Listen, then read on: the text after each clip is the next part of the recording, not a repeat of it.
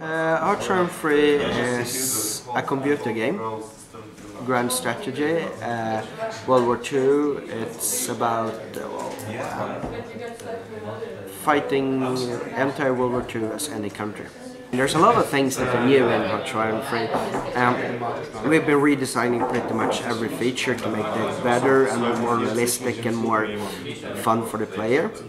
Um, well, first, I mean, we have like the unit system is uh, revised so that instead of like single units being moved around, we have unit hierarchies where there's like divisions, corps, armies, etc. all tied together, and anyone on the one level is uh, um, is leaders on one level uh, impacts the ones on lower levels and uh, different uh, and different orders. If you're giving an order on an army, it will be translating that orders to its corps and then to its divisions automatically, helping out. Other stuff that's cool. I mean, we have got a huge big map that we're rather proud of. It's bigger than anything else in the game before. Uh, we have uh, new intelligence system, new politics, new diplomatic, new, new, new, new. Well, yeah, well, there's so much new things. I could talk about them in detail for and fill your entire tape.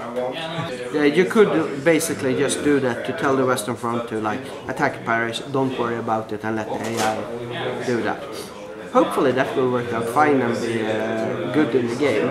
Um, or you may be you may be wanting to play like okay I don't really care about the nitty gritty military details. I like playing around with the technology and the diplomatic. I want to focus on the military.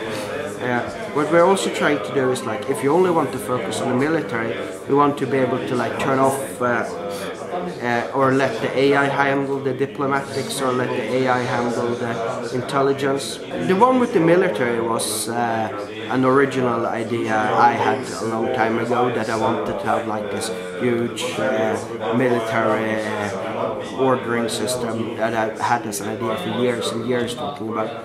Uh, the stuff like to, um, to uh, enable or disable other aspects of the game and let the AI run it was um, something one of the programmers said when we were talking about uh, uh, what can we do to make the game easier to learn. And he said, well, couldn't we, since we're doing this with the AI, we're running the AI anyway for the player, we could just have switches for that and it should be an option. You can play like the Grand Strategy Commander if you want to, and then you can still play around as uh, Hitler did and give uh, order to a specific little division just because you can. Uh, or half of the programmers on the team are working 100% on the AI, so uh, yes, we're aware that the AI is the core and everything that the game will succeed upon. If you're just giving it on the top theater, on the Western Front or Eastern Front, it's very, very broad uh, orders. You just say attack or defend. But if you're like on an army level, it might be like, okay, this army group has uh, uh, this part of the front, they're standing in Belgium, it might be like uh, hold Mons, attack towards Brussels, or uh, defend uh, the line of uh, Bastogne, or like encircle Bastogne, or attack head on to Bastogne. Then that army group will like position its uh, armies to do that kind of encirclements or flanking maneuvers or something. Yeah, that's the that's the goal of that system is that uh, and one thing we really want to do with that system is that um, the more armies you have in a province, the more likely they are to be picked up by radio.